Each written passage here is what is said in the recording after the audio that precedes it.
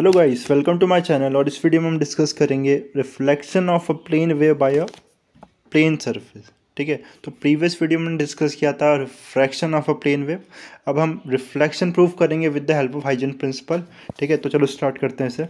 We next consider a plane wave A B incident at an angle I on a reflecting surface M N ठीक है? तो एक M N surface है.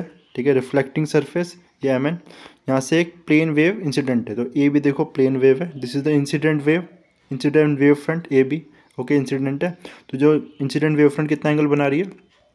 आई angle बना रही है। So this is the angle of incident okay now if we represent the speed of the wave in the medium and if tau represent the time taken by the wavefront to advance from the point b to c, then the distance b is equal to v into t, tau. देखो, अगर क्या है, इस medium में जो उसकी speed थी, ये मीडियम है, इसमें स्पीड कितनी थी? वी स्पीड है इसकी और जो बी को, है ना मतलब बी क्या था? इंसिडेंट वेव फ्रंट में एक पॉइंट था, ठीक है?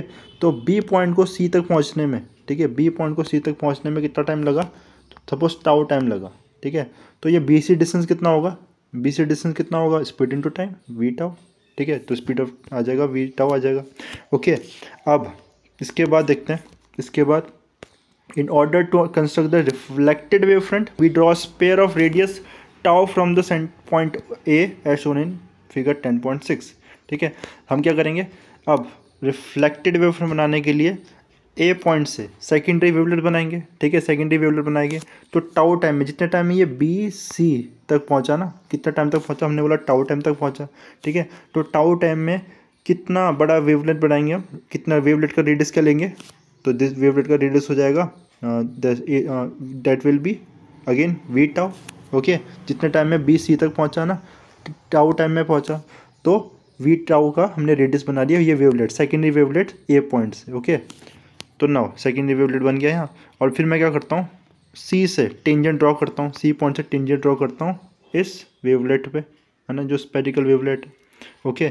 और ये मुझे मिल जाएगा यहाँ ई पॉइंट पे इंटरसेक्ट कर रहा है ये, और ये मुझे मिल जाएगा क्या? रिफ्लेक्टेड वेव फ्रंट ठीक है? So this is our reflected wave front I hope ये समझ में आएगा ओके। एंड देखो इसके बाद इसके बाद या। Let C represent a tangent uh, plane drawn from the point C of the sphere obviously A is equal to BC equal to tau ठीक है? तो यानी कि देखो ये A ही ही। किसके इक्वल होगा? क्योंकि मैंने A रेडियस का तो बनाया था sphere okay? So this is the A and this is B जो दोनों वी टाउ ओके? ये स्पेयर का रेडियस कितना वी टाउ और ये भी वी टाउ था ओके? तो ये A is equal to B C आ गया वी टाउ के ओके? ठीक है, इसके बाद देखते हैं। और हमें क्या प्रूफ करना है? लॉ ऑफ़ रिफ्लेक्शन मतलब I is equal to R proof करना है। तो क्या करेंगे देखो if it now consider triangle E A C and B A C we will find that they are congruent and therefore the angles I and R would be equal this is the law of reflection अब देखो इन्हें congruent proof करते हैं, in triangle कौन सा triangle A E सी और ए B C तो in triangle A E C and in triangle A B C देखो, पहली चीज़ तो क्या हो गई? ए ई और बी सी इक्वल है? क्यों इक्वल है? Because both are equal to V tau okay अभी हमने देखा। ओके दूसरी बात, ये कॉमन आ जाएगा। कौन सा कॉमन आ गया? ए सी कॉमन आ गया। ए सी सॉरी यहाँ पर ए ही था, ठीक है? ये ए था। ए बी सी की इक्वल है और ए सी और ए सी कॉमन है इन दोनों ट्राइंगल में। और एक तीसरी चीज़ तीसरी चीज़ देखो यहाँ पर, ये एंगल नाइन्टी डिग्री है, ठीक है? ये एंगल ये ए ई सी जो है नाइन्टी डिग्री है बिकॉज़ वेव फ्रंट और रे के बीच में एंगल कितना होता है? नाइन्टी डिग्री होता है। सिमिलरली ये जो एंगल है ए बी सी ये भी नाइन्टी डिग्री है। तो तीन हमें मिल गया तो किससे? किससे हो जाएगा? यहाँ एंगल आ रहा है, और साइड कौन कौन सी? ये वाली साइड और ये वाली साइड तो आर एच एस से ये कॉन्ग्रेंट आ जाएगा। ठीक है आर एच एस से ये कॉन्ग्रेंट आ जाएगा। तो ट्राइंगल कॉन्ग्रेंट आ गया। तो ये वाला एंगल कौन सा एंगल जो आई एंगल है, इस ट्राइंगल का आई एंगल और इस ट्राइंगल का आर एंगल क्या हो जाएँगे? कॉन्ग्रेंट हो जाएँगे by C B C T ठीक है तो इस तरह से कॉन्ग्रेंट हो गए आई आर के इक्वल आ गया ठीक है तो लॉ ऑफ़ रिफ्रैक्शन प्रूफ हो गया। ठीक है now once we have law the laws of reflection and refraction, the behavior of prism, lenses and mirror can be understood. ठीक है तो हमने इससे हाइजीन प्रिंसिपल से हमने क्या प्रूफ कर दिया?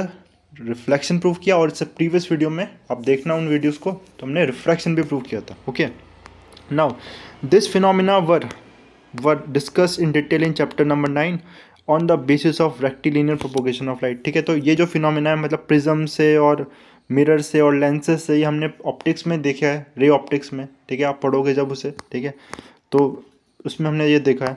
तो ठीक है, अब हम इसे वेव थ्योरी से देखेंगे, ठीक है? हमने रेक्टिलियम प्रोपोगेशन से देखा था, अब रे ऑप्टिक्स में देखा था और अब इसे वेव थ्योरी से देखेंगे इन फिनोमिना को, कैसा बिहेवियर होता है प्रिज्म से मिरर से और लेंसेज से, ठीक है? Here we just describe the behavior of the wavefront as they undergo reflection or refraction. We consider a plane wave passing through a thin prism. ठीक है? सबसे पहले हम बात किसी करेंगे? थिन प्रिज्म से जब लाइट वेव पास होगी, ठीक है? Clearly since the speed of light wave is less in glass the lower portion of the incoming wave front which travel through the greatest thickness of glass will get delayed resulting in the tilt in the emerging wave front shown in the figure ठीक है, देखो, जब prism से पास होगी तो क्या होगा? ये इंसिडेंट वेव फ्रंट है। अब देखो, जो नीचे वाला वेव फ्रंट का पार्ट है, इसको लोअर हाँ, इसको एक थिकर पोर्शन से जाना पड़ रहा है प्रिज्म की। और प्रिज्म का क्या है? जो प्रिज्म है इसमें स्पीड ऑफ़ लाइट कम है this is a denser medium तो क्या हो जाएगी? जो वेव फ्रंट यहाँ से पास हो रहा है, उसकी स्पीड कम हो जाएगी, जबकि ऊपर वाला जो पोर्शन है इंसिडेंट वेव फ्रंट का उसकी स्पीड क्या रहेगी?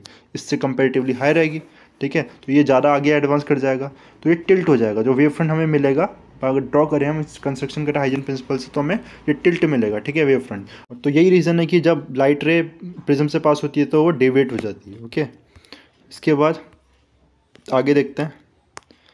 नाउ इसके बाद अगर हम देखें in figure ten point seven B we consider a plane wave incident on a thin convex lens the central part of the incident plane wave transverses the great thickest portion of the lens and is relate the most the emerging wave front had depression at the center and therefore the wave front becomes spherical and converted to point F which is known as the focus ठीक है? अब देखो, इसमें क्या होगा? जब एक plane wave front एक कॉन्वेक्स लेंस से पास हो रही है तो जो बीच सेंटर पोर्शन है इसको thicker portion of thicken portion of lens से पास होना पड़ रहा है, ठीक है? थिकर पोर्शन ऑफ़ लेंस से पास होना पड़ रहा है तो मतलब इस पोर्शन की स्पीड क्या हो जाएगी? कम हो जाएगी और जो ऊपर वाले पोर्शन है कंपेरेटिवली इनकी स्पीड ज़्यादा होगी तो एक डिप्रेशन फॉर्म हो रहा है ना यहाँ पर, ठीक है? तो इस तरह से तो ये क्या हो रही है? ये कन्वर्ज हो रही है, जो वेव फ्रंट है, आगे वेव फ्रंट बनाऊँगा अगर मैं तो इस तरह से, आगे कन्वर्ज होगी, फिर ऐसे कन्वर्ट तो एफ़ कन्वर्ज होते होते ये वेव फ्रंट एफ़ पे क्या हो जाएगी? मीट कर जाएगी, ठीक है? एफ़ पे कन्वर्ज हो जाएगी, और वो एफ़ पॉइंट ही क्या होगा? इसका फोकस होगा। तो फोकस पॉइंट पे क्या हो जाएगी? ये पूरी वेव कन्वर्ज होगी ठीक है? हमने समझा कैसे? ठीक है? सिमिलरली आप इंसिडेंट इसमें भी देख सकते हो कॉनकेव में भी। कॉनकेव में भी क्या होगा? देखो ये incident wave front plane wave front I और कॉनकेव सरफेस कैसा है? तो देखो कॉनकेव ऐसा है। तो यानी कि इसमें कहाँ पर? इसमें आ, इसको थिकर पोर्शन से जाना पड़ रहा है यहाँ। ठीक है? इसको कहाँ पर थिकर पोर्शन जा रहा है? एज में है ना? और यहाँ पर स्पीड क्या है? यहाँ पर जो स्पीड है इसकी बीच में वो कंपेटिवली हाई होगी, ठीक है? तो इसमें जो वेव फ्रंट बनेगा, कुछ ऐसा बनेगा, है ना? इस पर जो वेव फ्रंट बनेगा मतलब बीच में तो स्पीड ज़्यादा है, ठीक है? और यहाँ पर स्पीड कम है तो उसको जिस तरह से मतलब ये क्या कर देगा इसको? डाइवर्स कर देगा ना डाइवर्स कर देगा। और हमें पता है फोकस क्या होता है कॉन्केव मिरर का? जहाँ पर ये rays appear to be coming from है ना? कुछ इस तरह से डाइवर्स कर देगा, ये, इसमें डाइवर्स होता जाएगा। और ऐसा लग रहा है कि ये सारी वेव्स कहाँ से ओरिजिनेट हो रही है? फोकस से ओरिजिनेट हो रही है, ऐसा हमें लग रहा है, ठीक है? ऐसे ही हम फोकस को डिफाइन करते हैं। ठीक है?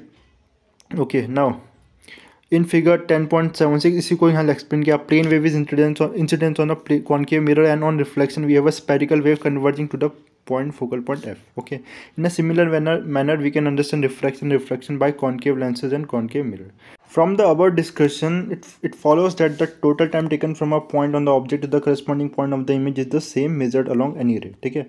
क्या कहने का क्या मतलब है? जैसे कि ये देखो, इस रे में बात करो तो प्लेन इंसिडेंट वेव फ्रंट है और ये रिफ्रैक्टेड वेव फ्रंट है। तो इसका हर एक पॉइंट ले लेता हूँ ना। जैसे एक पॉइंट ले लेता हूँ, इस पॉइंट को यहाँ पहुँचने में सपोज़ इसके करस्पॉन्डिंग पॉइंट में पहुँचने के लिए कितना टाइम लगा? टी टाइम लगा। तो दूसरा जो पॉइंट होगा, उसमें भी कितना लगेगा? उसको भी टी टाइम लगेगा इसके करस्पॉन्डिंग पॉइंट तक पहुँचने में। ठीक है? मतलब किसी भी रे में मेज़र करो, किसी भी रे को मेज़र करो, जो हमें अगर डिस्टेंस निकालना है टाइम निकालना है तो हर एक टाइम क्या रहेगा? हर एक रे के अलॉन्ग सेम रहेगा। ठीक है? ये कहने का मतलब है। तो देखो for example when a focus convex lens focus light to of to form a real image although the ray going toward the centre trans traverse traverse traverse और shorter path but because of the slower speed in glass the time taken is the same as for rays travelling near the edge of the lens ठीक है? तो देखो, जैसे कि इस convex lens की बात की तो इसमें अलग अलग पॉइंट्स है। ये इंसिडेंट रे वेव फ्रंट है। तो इस पॉइंट को, इस पॉइंट में पहुँचने के लिए अगर सपोज़ टी टाइम लगा तो इस पॉइंट को इस पॉइंट में पहुँचने के लिए भी टी टाइम लगेगा। मतलब अपने जो करस्पॉन्डिंग पॉइंट है, जो जो नेक्स्ट वेव फ्रंट है सेकेंडरी वेव फ्रंट है, वहाँ तक पहुँचने के लिए उसको सेम टाइम लगेगा, ठीक है? तो किसी भी रे के अलॉन्ग जो टाइम होगा, वो सेम रहेगा, ठीक है? आई होप ये समझ में आया होगा, ठीक है? तो इसके बाद हम बात करेंगे नेक्स्ट वीडियो में डॉपलर इफ़ेक्ट की। लाइक करना इस वीडियो को अगर आपको ये वीडियो पसंद आई शेयर करना अपने फ्रेंड के साथ ताकि चैनल ग्रो कर सके। कोई मिस्टेक अगर आपको लगता है कि मैं एक्सप्रेशन में है, कोई फीडबैक आप देना चाहते हो तो कमेंट सेक्शन में बता सकते हो। ठीक है, और लास्ट में थैंक्स फॉर वॉचिंग